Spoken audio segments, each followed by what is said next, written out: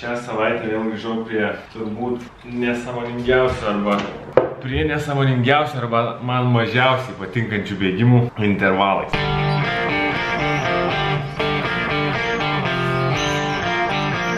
Nežinau, kodėl aš nemėgstu tų intervalinių bėgimų, nežinau, kodėl man jie nepatinka, bet tai yra vienas iš vaistų, jeigu tu nori bėgti greičiau, jeigu nori mažiau pavargti bėgdamas greitai ir tiesiog nori, kad būtų tavo bėgimas efektyvesnis. Tai kadangi turiu grupę mm, pradedančiųjų, kurie vis bando nubėgti nuo 0 iki 5 km arba jau tą ribą pasiekė ir bėga kažkiek truputį daugiau, ten vis gaunu klausimą, kaip pagreitinti savo bėgimą, kaip greičiau nubėgti 5 km, kaip mažiau pavargti ir, ir, ir taip toliau. Tai noriu labai trumpai papasakoti, kas yra tas intervalinis bėgimas ir kaip atrodo ta e, primityvi intervalinė bėgimo treniruotė.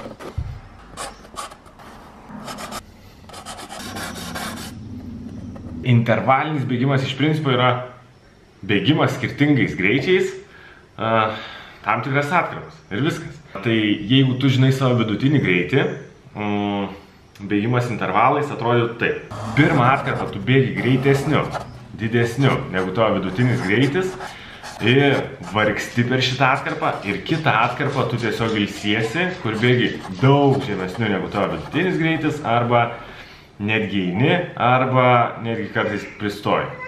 Ir paskui kartuoju iš naujo. Greitai, lietai, greitai, lietai, greitai, lietai. Kol užknisai spjauni ir sakai, vėl.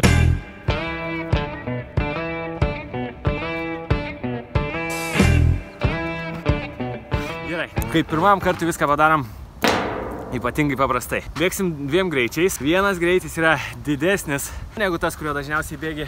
Antras greitis yra daug lėtesnis arba iš vis netgi ėjimas. 30 bėgam greit, 30 bėgam iš lėto arba einam. Minutė, minutė, 2 greit, 2 lėtai. 3, 3, 4, 4 ir tada žemyn į apačią.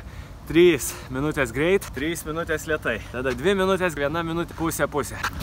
Tok vienas dar patarimas, kad kai pradėsi bėgti greitai, nepasirink šito greičio per didelio. Gali būti, kad paskui neištemsi visų intervalų ir tie tavo greičiai aukštas ir žemas, jie tiesiog susivienodins ir nebus prasmės. Pavyzdžiui, mano ryte vidutinis greitis yra kokias, nu, apie 5 minutės kilometrui.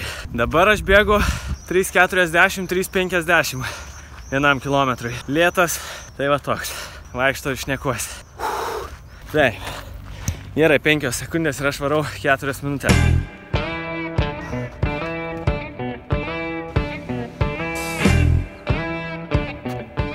Nu, kažkaip taip atrodo tie intervalai. Taip nesinori jų bėgti, bet taip gerai.